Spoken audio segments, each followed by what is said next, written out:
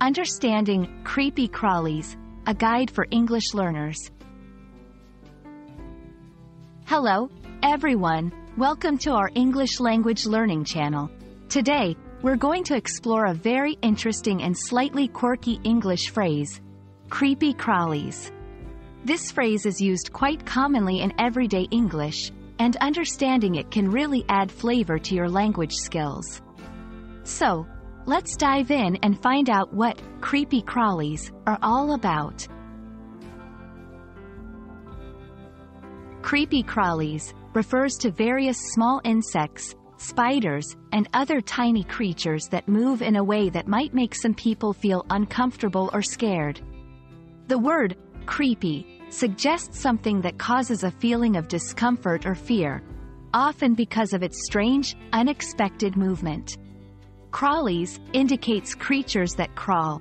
Together, they describe small animals that many people find unpleasant or frightening, like spiders, ants, or centipedes. In this section, let's look at some common examples of creepy crawlies.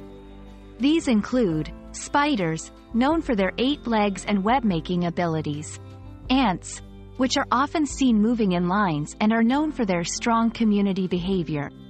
Centipedes, which have a lot of legs and move quickly. Cockroaches, known for their resilience and fast movement, especially in the dark. Understanding these examples helps in visualizing what kinds of creatures are typically referred to as creepy crawlies. Now, let's see how to use this phrase in sentences. I need to call pest control. There are too many creepy crawlies in my basement. My sister is really afraid of creepy crawlies. She screams whenever she sees a spider. During our camping trip, we encountered all sorts of creepy crawlies in the woods. Using the phrase in different contexts can help solidify your understanding of its meaning and usage.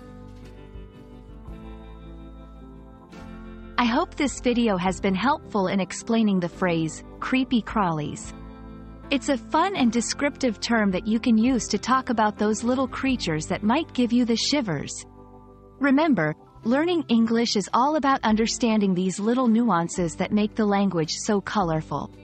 Keep practicing, and don't let the creepy crawlies of language learning scare you away. See you in the next video.